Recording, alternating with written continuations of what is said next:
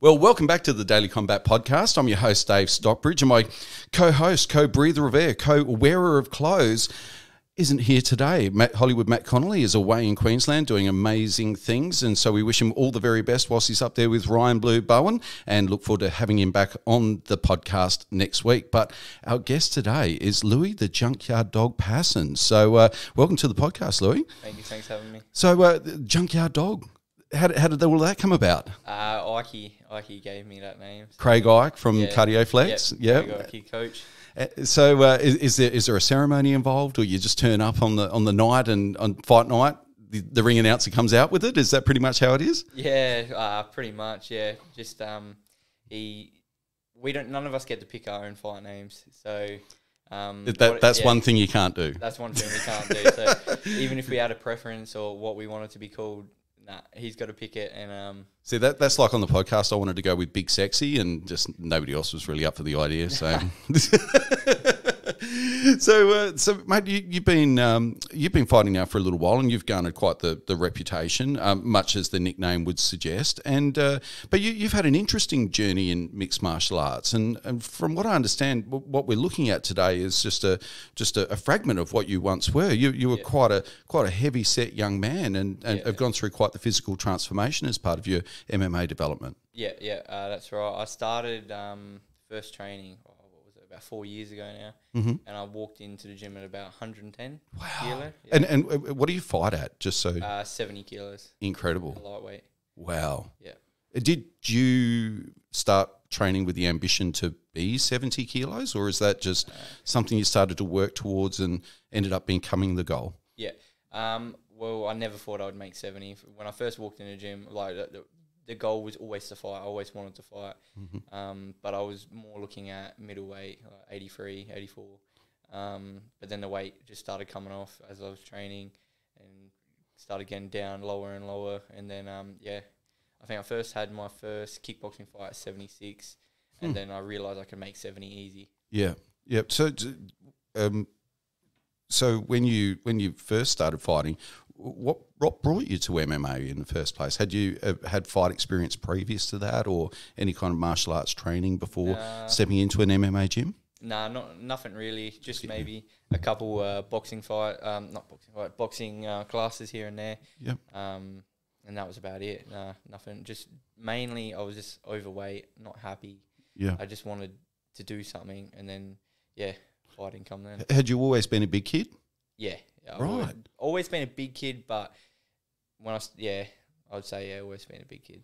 Wow, and uh, so so that was quite the the challenge for you in the first place, just getting fit enough to be able to step into a cage or into a ring, and and to work your way all the way down to seventy kilos is, is- I mean, it's it's remarkable. It's absolutely amazing. It, were you always so disciplined um, previous to starting martial arts and and and, and fighting, or Nah, nah, I was that kind of came as a result of Yeah, the starting yeah. the training? starting training. I well, I knew if I wanted to step in there, I got to be serious and give everything to it. So that's when the dieting started, and you know, I mean, stop drinking alcohol, stop going out partying, stuff like that. So um, everything I, I do now is purely just for the fighting, and you know, I mean, to get the edge over competition. Wow, and and so have you returned to any of those ways? Uh, Do, do you sneak in a drink every now and again? Uh, Oh, will, you, will you hit the town occasionally? Are you able to control it when you do? Yeah, yeah, I do. I don't. To be honest, I don't like drinking, um, and I have like at a Christmas show or something like that. I, I have a couple, but I don't really have any more than a couple. I don't like the feeling of being drunk or anything like that. So, Yeah. and I think that's come from not not drinking for so long and not going out and partying. So, Yeah. I, d- I don't enjoy that lifestyle anymore. Hmm. It's interesting because now now your, all your priorities have shifted and everything's about optimization and being Yeah. being prepared and, and ready in the cage. Um, and I guess you know when you've got that kind of focus, those other kind of peripheral things start to drop away. Did you notice like your social circle started to change as well as you became more disciplined? Yeah, yeah. I lost. Uh, I wouldn't say I lost a lot of friends. I still, I'd still call them friends. Yeah. But I don't see pretty much anyone anymore. Yeah. Um, most people I see, I, I have a couple close friends I see still. Um, but other than that, it's just gym and that's it. Yeah. Train, gym. Well, everyone's in different stages of their life as well. Yeah. So it's hard to relate to a lot of people, Mm. especially when you have a goal and where you want to get to. Yeah. It's very hard to relate to the norm. And- And what would you say your your goal is at the moment? Because you, you're achieving big things in the cage, and one of Australia's well most uh, I guess anticipated fighters at in, at 70 kilos now. And uh, every time you step in a cage, it's it's excitement. So everybody wants to see your next fight. Yeah. Um, so uh, you know, at, how did how did all of that come about? not sure. Just keep rocking up and keep fighting, and then um, I guess the the crowd follows. I I feel like um, you just got to be entertaining. You know what I mean? And and I'm an entertaining fighter. I can't just sit on the back foot and, and wait for someone to come to me. I, I'm gonna come towards them and hunt them down and, and look for my opportunities. Yeah, yeah, absolutely. Yeah. So w- when you um, when you think back to when you first uh, stepped into the gym, it, had you had any? Um, uh, did you know anybody at the gym, or was it you just straight off the street walked in and just to suss it out? What what? Uh, how did? Because I'd imagine that would Yeah. be quite a nervous thing to do. Yeah. You, you, you know, if you're overweight and you're not sure and you don't have any, you know, friends or connection with the gym, just to kind of turn up is a particularly brave thing to do. Not Yeah. really knowing who's on the other side of that door, it, it, that would have been quite a confronting experience in itself. Yeah. I didn't actually know anyone coming into the local MMA scene before stepping into the gym. Mm. I only got to know people through being in the gym environment and then going to Diamondback Fighting Championship shows. hmm Um, Oh, so you've like been that. to a few of the shows before? No, I, when I just started training, I Ah. think two weeks later there was a show coming up. So Yeah. me, and my brother decided to go and watch that. Yeah. And uh, when I first started training, I trained out of United MMA for the first 12 months. hmm And then that's when I made a transition to CardioFlex. hmm Yeah. And uh, so they say you're the average of the five people you spend the most time with, and when you're you're in the gym now, you, you're certainly circulating with some of the um, big up and coming stars of MMA in Australia. Um, who, who's kind of uh, uh, serving as some kind of inspiration for you at the moment around the gym? Oh, definitely. It's hard not to say Shane, Shane Mitchell. Just if you look at his record and, and you look at what he's done, you know, I mean, it's it's unbelievable to Mm. have. I think what is he, thirteen or fourteen wins, Yeah, twelve finishes. yeah, Like, that's unbelievable. You don't you don't hear that every day. So yeah. he's definitely someone I look up to. Big, but also everyone else in the gym. We got a young um a young guy named Cody Mayberry hmm and um, he's he's going to be something big. And, and he shows up every day. He's in the gym every day. hmm He's one of my main training partners as well, and I look up to him as well. He hasn't had an MMA fight yet because he's only not not eighteen yet. Yeah. But you wait, wait till he has a fight, and yeah. So the bookies are out there making notes now. Yeah. Maybury. Okay, Yeah. got that one down. Okay, good. No worries. Um, so, uh, so uh, any plans for your uh, for fighting? Um, anything upcoming on on the agenda? coming. Uh, yeah, I'm fighting at Apex twenty fifth of February. So Uh, just locked that in. Okay, so this this, this is a daily combat uh, exclusive here, I think. So, uh, we, do you know who you're fighting as yet? Uh, yes, I'm fighting uh, a lad named Brandon White, I believe. Brandon White. Yeah, out of um, Eagle MMA, hmm and uh, we're fighting for the lightweight title. For So-.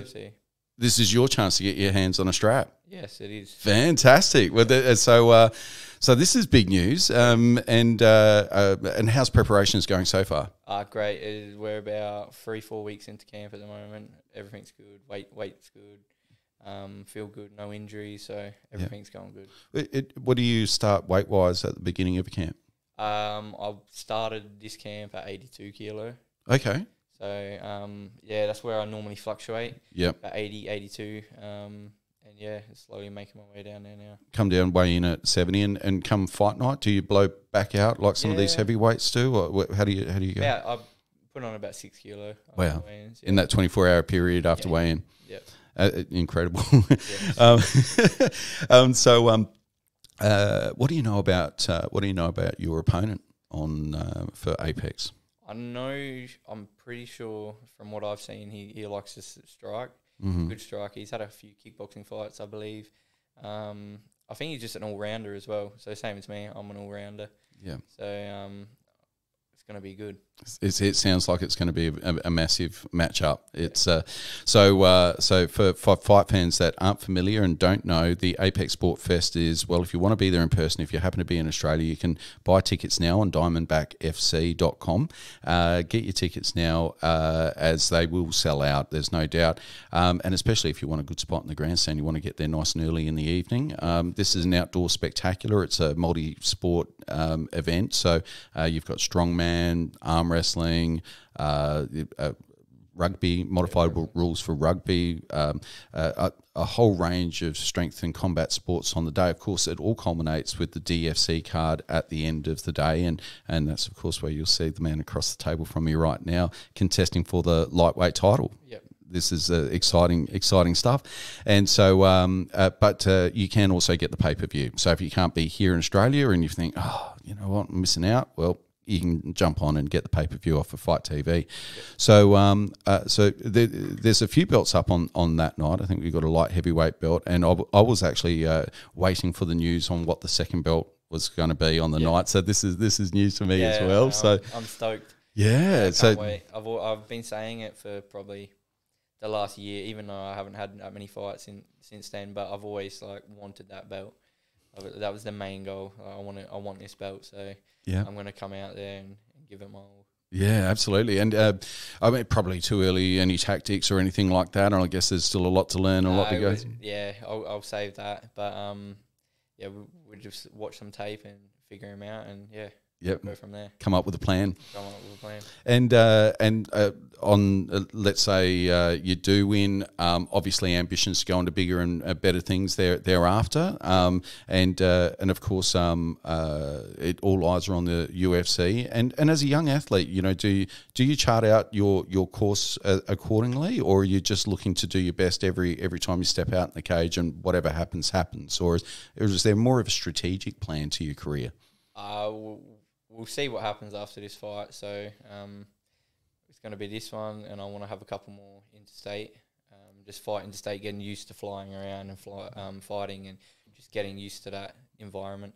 Um, and then yeah, go from there, and then maybe look another twelve months, maybe look to go pro then. But to be honest, I'm not thinking about that just now. Yeah. I'll worry about the fights I got lined up, and then we'll go from there. And you talk about travelling interstate, and uh, you've had some experience travelling interstate already. Wh- What are some of the lessons that you learned from doing that, or things that uh, uh, happened, or uh, things that you felt that you weren't expecting as a result of travelling interstate for, for a fight? Yeah, um, I think because I, I got a nutritionist that hooks me up with my weight cutting and stuff.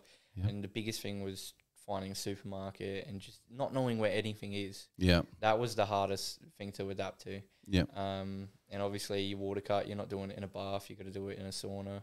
mm. Um, or if you, because you don't have a bath at the facility I was at, uh, stuff like that. So you just got to adapt Mm. in the thing and not let anything, you know, what I mean, I guess piss you off or anything. Just So, stay calm. so in this case, in, in your previous um, experience of travelling interstate, you weren't quite familiar with the environment, like what, what was going to be available and at your disposal, so you could prepare for the fight. So you weren't you, you may have assumed that these things were going to be readily available because you can find it here in Adelaide and you get to Melbourne and think, oh, well, I can get it, but it's like a 20k drive that way. And, I, you know, yeah, it's, no, you don't have a car or anything, so yeah, you got to rely on a lot of people to get you around, or you get call. But they were good over Demolition Fight Series. They're, they're good guys and good family run promotion, yeah. so they they were they helped heaps. That, that's awesome. So um, so you obviously we've fought in, uh, within uh, DFC, and that's what, what, what the belt's going to be. Uh, uh, the organisation uh, who's the light heavyweight, uh, sorry, the the lightweight belt that you're fighting for. But you've also had that experience of fighting in demolition, and and how was that? What was your experience there? And obviously, sounds like a positive one. Yeah, no, it was good. It, w- it was good fight, and I fought um guy named Harry Webb for the, the lightweight title over there, and that Mhm. was after my big knockout of Sam at the Apex. Yeah, yeah. I'm sure the promoter, um, the guy who owns Demolition, he was in the crowd and seeing it.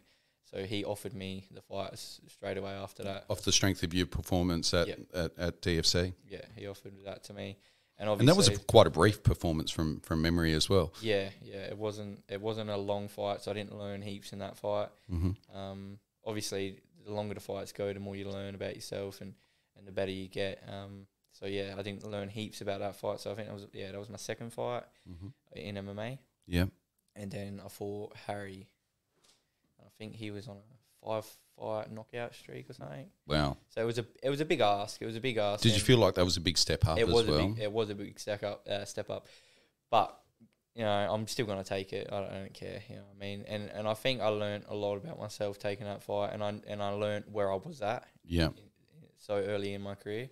Yeah. I knew what level I needed to get to and what I needed to improve on. So then when I come out and uh, fought my last fight, Seku, I wanted to prove to people that I'm not just a striker, I can grapple as well. Mm. And that was my main goal in that fight. Yeah, so it, it's um, it, there was some coaching from the commentary box. I I, I heard uh, during the course of your last fight as well, and uh, and there seemed to be some kind of uh, talk about uh, stretching the fight out a little bit more um, because you you, you, you uh, previously you'd not spent that long in the octagon, and it and it's it's a it's an amazing process because you spend weeks in, in preparation and training and, and in camp, and then you you get to the event and you've got the lights, the music, the cameras are on, you walk in and then how does it feel as the athlete when you walk in and it's literally 30 seconds later and you're walking back out and Yeah, with no. your hands held high? Like, It- is that a blur to you or? it, was, it was a big blur to me, and I had to pinch myself a couple of times because it was so it was so quick, and I was just, to be honest, I didn't, I wasn't expecting it. I just let my hands go, and then, and yeah, I wasn't really thinking to be honest. yeah. I just let my hands go, and I, I do what I do on the pads and what on the bag, and just let them fly, and, and then yeah, So it's quite instinctual. So you didn't go into that necessarily that fight with the ambition of ending it so quickly. It was it was just the adrenaline's going, the lights are on, the bell's gone, and uh, you're just letting the hands do whatever the hands have been trained to do. Well, that's the thing, yeah. So I seen um, I threw a couple shots on the way in, and I noticed that his um, back hit the cage, and, and we did we did kind of plan for this um, to a degree, and I, I knew he's gonna walk himself into the cage, and and I know once I get you with your back against the cage, it's hard to get me off you Hmm. and it's just what I how I train and and how I come forward. So I knew it, I didn't think it was gonna he was gonna walk straight into the cage. Like I knew he was going to, but I didn't think he would he would just sit there. Mm. I thought he would circle, but then I just kept the pressure on and then got got the finish. So it was good. So it, as you were starting to, it, it, I guess, uh, ease yourself into the MMA world and you're getting yourself into shape, were there any big names that you kind of looked at as being examples or people that you already followed that you thought, yeah, look, I, I want to be a bit like that. That's my style, I think. Um, anybody like that that comes to mind? Uh, are you talking about more like Like professional Professional. fighters? Yeah. yeah, yeah. Um, I do I do like following like Justin Gaethje. Um, and I do like Chan. Well, now it all makes sense. Okay. Yeah, Justin Gaethje. and I do like lately um, Michael Chandler's been Oh, yeah. being just because of how hard he comes out and he, and he's always on the front foot and he's entertaining. Uh, Everyone loves him now. Yeah. yeah. I mean, um, and yeah. So Justin Gaethje and uh, Michael Chandler definitely. Yeah, that, it's it's interesting, especially when you say Justin Gaethje, and, and all of a sudden it clicked for me because that's it's very very similar, very aggressive, moving forward, quick hands and, and heavy hands as well. When when something lands, it lands seriously. Um, so uh, yeah, it's it's interesting. You can see those Yeah. comparisons. Uh, Uh, uh, yeah, I definitely look up to him, but then it's hard not to look up to the local guys as well. Um, what are some of the unknown local names that kind of come for most people, but uh, that come to mind for you as inspiration? Uh, I'm talking more probably still like big names. Okay. Like Volk. Oh Like, yes, definitely yeah, Volk, Whittaker, um, Jimmy Crute, all Yep. those guys that are that are killing it in the big scenes as well. Um, local guys, I've definitely I've, I've been loving like Vanilla Gorilla. If, Yeah. you, if you've been watching his fights, the last couple of fights, yeah, it's just something's flicked a switch in him, and he's so composed and calm, yeah, and he just he looks like a full professional, and he's still an amateur. You know what I mean? yeah. So he's definitely another guy I look up to a lot. It's one of the, the, thrills of being able to see fighters develop from maybe their first or second fights and as, as they start to go forward. But there seems to be, like say, that a, a, a, the the switch gets flipped or Yep. or there's a, a- a moment where it all changes and things start to lock in and, and make a lot of sense for that fighter. And it's almost like they find themselves in the cage at that point. Maybe the, the adrenaline isn't there as much. There's a familiarity with the environment. Um, I don't know, but it, there's definitely moments where all of a sudden you can see a fighter come alive Yeah. and uh, they become something else. Yeah. Have you felt that happen for yourself as yet? I yeah, definitely because uh, my first kickboxing fight that I had, uh, so I yeah, first kickboxing fight I was against Tavita, and um, he was really composed and stuff, and I just come out just trying to throw bombs, Yeah. and pretty much gas myself out, and, and I got a second win in the last round, and, and I did really well, but I didn't want that to happen again. I didn't want to feel that gassed in a fight that I feel like I couldn't move. Yeah. Um, so then when I fought Mark, I was definitely a lot more reserved and I was a lot more patient Mm. instead of just going out there trying to go for the kill. Yeah. And I think that's what a lot of amateurs and young fighters get wrong for their first couple of fights is they're so frenetic and they just go balls to the wall, you know what I mean, straight away. Yeah. Where you have to stay calm and composed because if you can't get them out in that first couple minutes, then you're stuck in there for another two rounds. You know I Yeah. mean? Doesn't happen much for you, but the. Uh, um, so uh, recently you became a, a signing for American Motors. Yes, um, yes. So uh, uh, tell us a little bit about how that came about. Yeah, um, that was after the, that uh, second Apex as well. Mm-hmm. So they seen the fight, and um, I was just strolling on Facebook. I reckon it was after um, Ike put up the post on Cardioflex page of the finish, Mm-hmm. and uh, they commented underneath, "Someone needs to sponsor this kid." And then yeah, we got into talks after that. Incredible. So yeah, that was good. And and what's it like being a brand ambassador now? They're- You you, you got to say good things about the cars and all of that type of thing. No, yeah. they're they're good guys. They're Yep. good guys down there. They got a great team, and um, they got some of the best cars in Australia, if not the world. Like some of their cars are unbelievable. It is pretty insane when you jump on their Instagram page and see what's going on down there. So Yeah. because they've got like uh, the, the the big Dodge Ram trucks and the the Hellcats Yeah. and the uh, the, the Chargers and uh, they they really specialise in that exotic American Yeah, American motors. new stuff. They got uh, motorbikes as well. Oh, do they really? yeah. Yeah. yeah, yeah. They got a lot of Harleys and, Mhm. and stuff like that. Um, and they um also have like those big American trucks, like the big Rams. Yeah, yeah. Oh man, they're killer. They're insane, aren't they? Yeah, insane. and and so uh, I mean that that's pretty cool to to be associated with a company like Yeah, that so I- early on in I your career. wasn't. Yeah, I was not expecting it at all. But um, uh, Nick and Alex, they get behind the young guys that that they they don't. So Nick and Alex Yeah. are the guys from American Yeah, Motors. they're Yeah, the owners of the American Motors. Yeah. They don't necessarily, you know, I mean, they want someone who's starting from the bottom.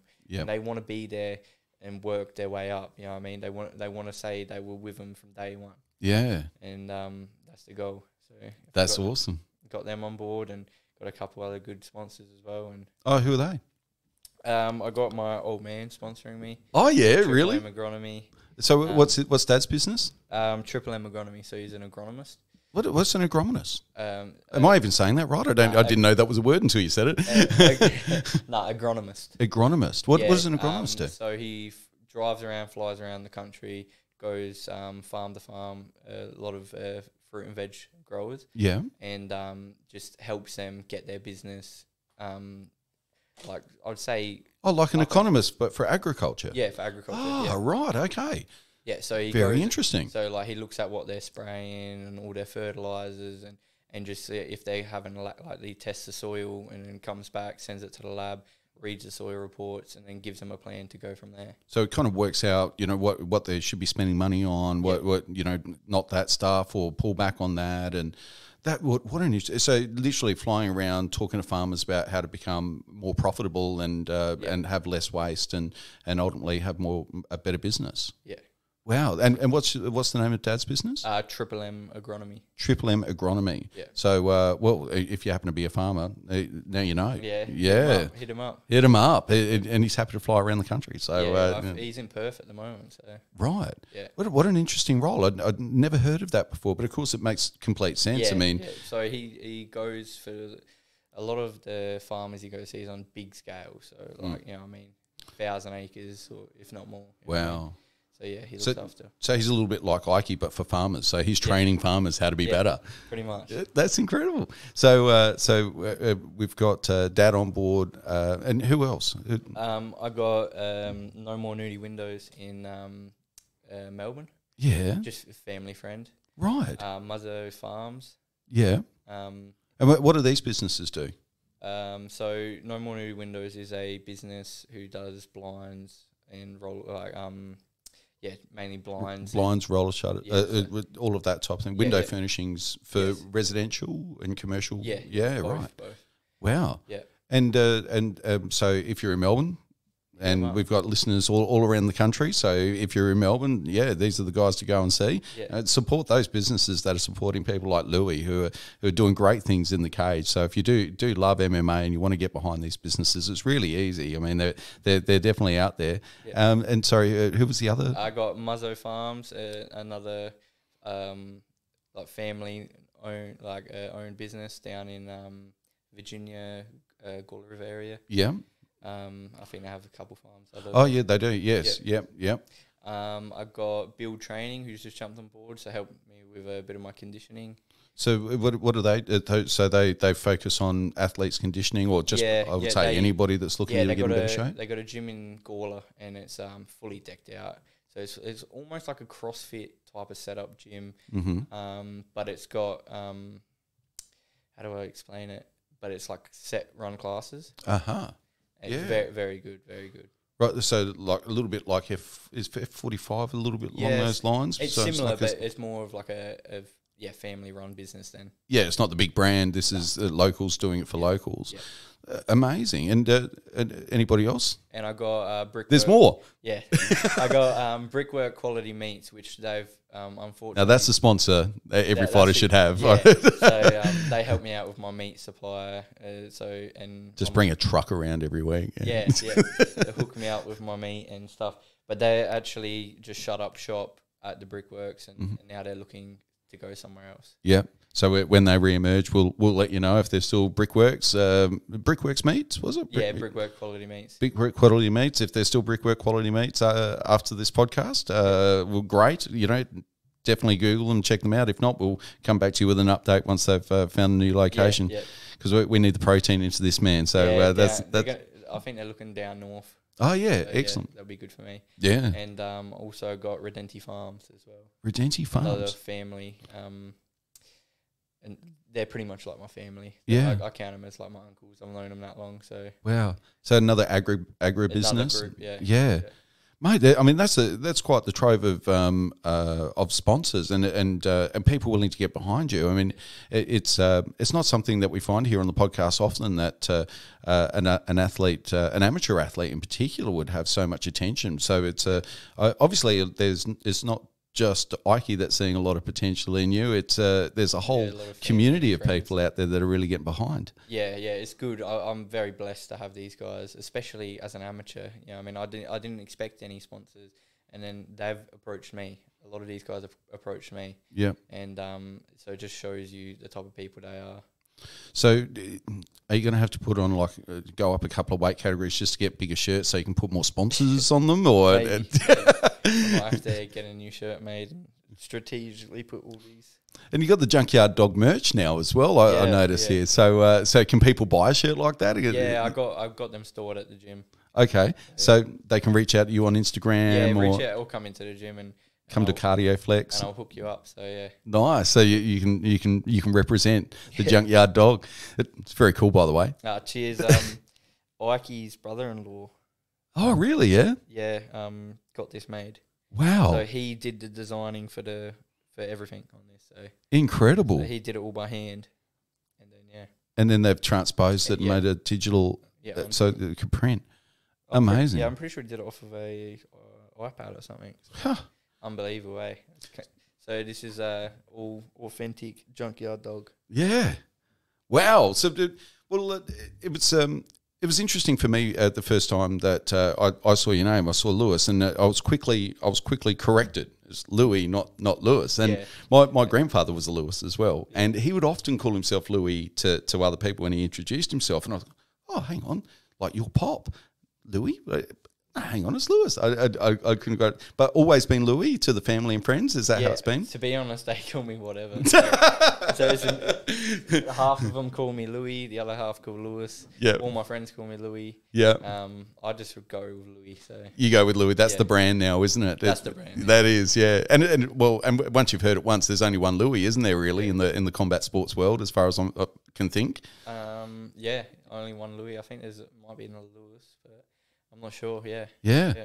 Yeah. I can think of anyway off the top of my head. Which is great for your sponsors, great for branding because you know once people hear that they instantly they they've got your recall, so uh, it works works well for everybody.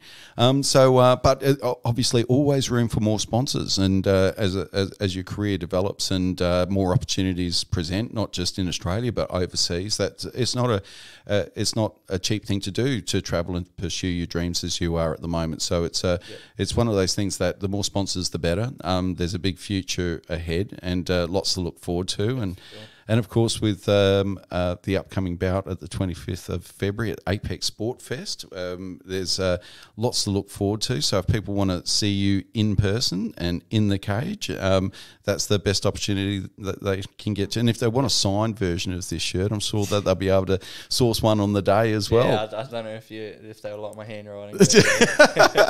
just just give them the signature, mate. Uh, They'll just keep it, put it aside for when you're rich and famous, and they can Yeah. yeah, sell it on eBay. So uh, so mate, um, uh, so yeah, big fight coming up. First title fight for you um, as well. uh, second. A second So, title fight. Yeah, I oh, when you went to demolition, that was also a title that, fight. That was a title fight as well. So yeah, this is my second title shot. Um, and so I'm very blessed to have the second shot yeah, to go for a belt. That's why this one I'm coming in really hungry for it because I lost the first one. Yeah. I'm, I'm not losing this one. Did you- I mean you're always a you're always a puncher's chance when you get in the ring, but you knew you were up against a pretty formidable opponent uh, in Melbourne at Yeah. Demolition last time. Uh, so did you go into that fight with expectations of winning, or using it as a learning experience? Nah, I always go out thinking I'm going to win. Yeah. Um, I always back myself, and, and and to be honest, if I fight him tomorrow, I still think I could win. Yeah, You know what I mean? I just he was one step ahead of me in that fight, and yeah, and then I copped a, a nasty liver shot that just unfortunately put me down, yeah, and um, couldn't couldn't recover quick enough. yeah. So there you have it, Demolition. We, we, we've, uh, we, I think we've got a, a, a match up here. Uh, He's So- pro, he just turned pro, so oh, did he? So Yeah, so he's vacated the belt. yeah, he's vacated the belt. So, but I'll, I'll I'll meet him in the pros one day. Yeah, You know, I'm sure once I decide to go pro, and then eventually we'll cross paths again. Hopefully, the rematch is coming up. It's out there. it's day, destined. It's in the future. So, uh, so ladies and gentlemen, do do yourselves a favour. Get behind this young man. Uh, big big fight coming up at the twenty fifth of February. It's at Apex Sport Fest. Of course, get your tickets now. You can do so by going on to diamondbackfc.com. Of course, you can secure the pay per view. But it, if you want to get yourself cage side, there's VIP tickets still remaining for the uh, for the DFC card. Otherwise, general admission will still get you a great spot in the grandstands and, and pretty close uh, to the fighters as well. So, um, and of course, the fighters will be there during the course of the day. So, um, if you've seen Louis, you love him, and uh, he's all of a sudden your new favourite, which I'd imagine he would be, then head on over, say good day, and uh, the athletes are there, of course, to introduce themselves to the fans and uh, and to uh, make you feel very, very welcome at the event. So, uh, uh, Louis, wishing you all the very best of luck uh, with uh, with the upcoming bout, and um, I'm, I'm sure uh, we'll, we'll be having you back in here very, very soon with a strap across your shoulder. that's the plan. Ladies and gentlemen, Louis the Junkyard Dog Pasin. Thanks. No worries at all. Thank you very much, ladies and gentlemen. Thanks so much for joining us on the Daily Combat Podcast, and we'll look forward to bringing you a whole lot more with Hollywood Matt Connelly next time.